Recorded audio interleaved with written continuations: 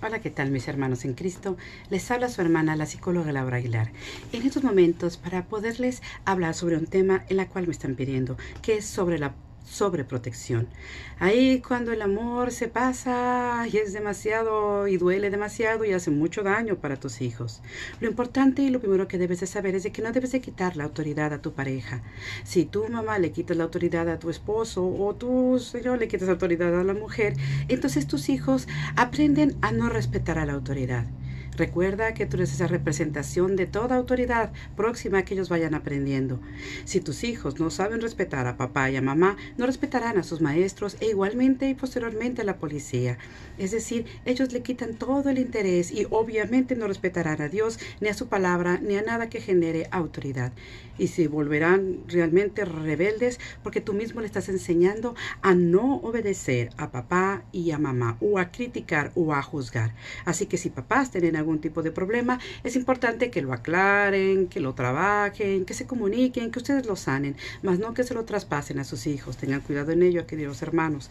También no es lo que diga él, es parte de la sobreprotección, es una, hagan de cuenta que la sobreprotección es como una violencia ante el hijo, no hagas nada, yo te lo voy a hacer a ti.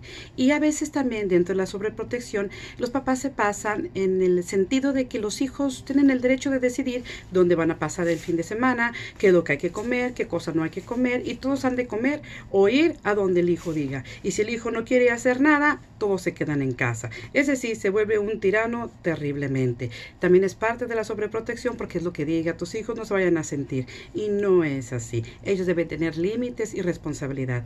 Parte también de la sobreprotección es el hecho de que no le dan responsabilidad que haga lo que no, que no haga nada, simplemente que estudie y ya. No, tus hijos deben de saber que tienen la responsabilidad de guardar sus zapatitos, su uniforme, este, de lavar su ropa, ya los más grandecitos, a los 11, o inclusive 9, 10 años, 11 años, 12 y demás, ya pueden empezar a lavar su ropa, a recoger su cuarto.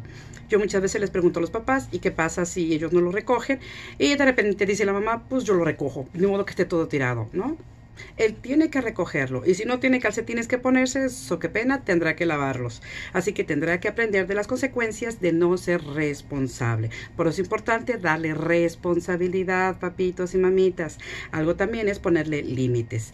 Eh, no permitirle que haga lo que él quiera, no darle todo lo que él pida eso también parte de la sobreprotección, en donde a veces los papás han tenido un pasado un tanto difícil y dicen, ay, ay, ay, es que yo no tuve juguetes, yo no tuve esto, y yo todo lo que me pida mi hijo se lo doy. Y le dan de todo que si la mejor tablet, que si mejor teléfono, que si el, este, el mejor videojuego, lo que el niño pida, de tal manera que le enseñan que simplemente levanta el dedo o dice el deseo y los papás le obedecen absolutamente en todo. Eso, dime tú, ¿en qué, de qué manera tu hijo va a aprender a a trabajar, a ganarse las cosas. Lo están enseñando a un mundo irreal. Simplemente el desear, querer algo y tenerlo lo que sea. Y no es así. Su hijo necesita ganarse las cosas, su hijo necesita respetar la autoridad, su hijo necesita saber que ellos son inteligentes, capaces, creativos, que pueden hacer las cosas, que pueden ganarse las cosas.